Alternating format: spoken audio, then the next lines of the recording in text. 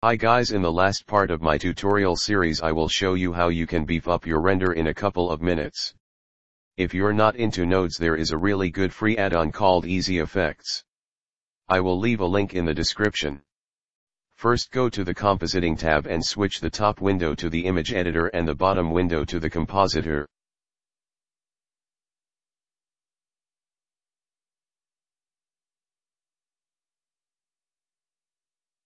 By pressing N on the keyboard you can expand the Easy FX interface.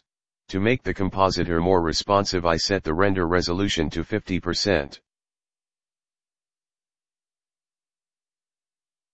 Shift Control click on the render layer node to create a viewer node and choose the viewer node in the drop-down of the image editor.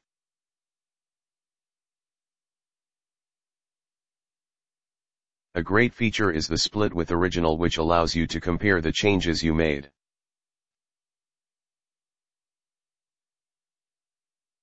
First I add an overall glow.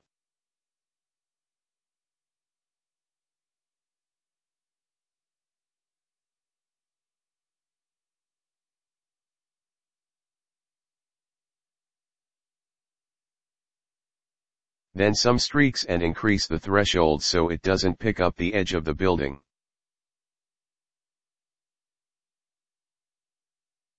Vignette mimics the properties of a real lens same as lens distortion and chromatic aberration.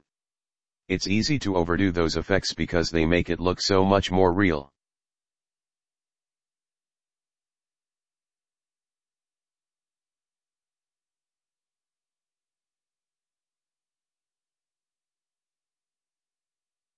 Next I add a mist layer, offset it and change the color to bright blue sky color.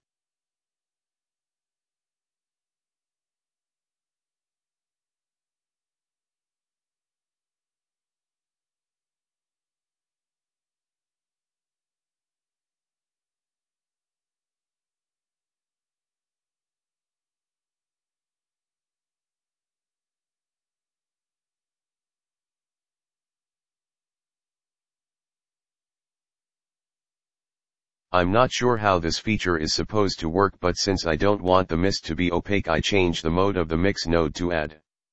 Changing the white point of the color ramp I can adjust the opacity.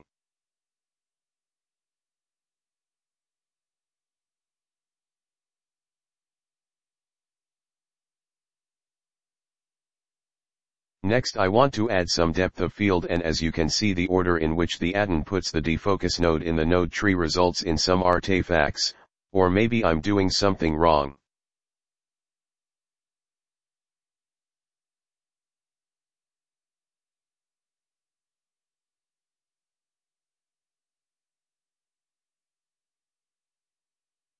Anyway I decided to add the defocus node manually and put it at the end of the node tree.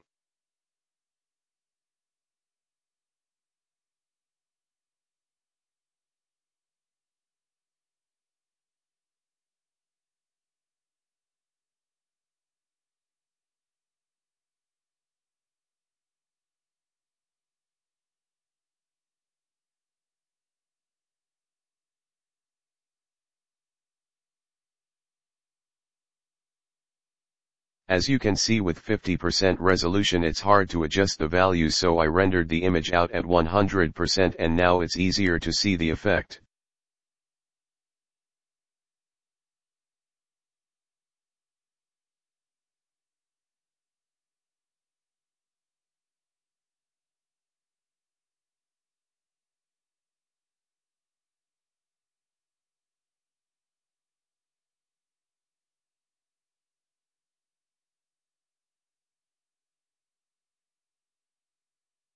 So that's it for this tutorial. I hope you found some inspiration and I want to thank the people that liked and subscribed to my channel. If you have any suggestions on future tutorials you would like to see, please let me know in the comments. Bye.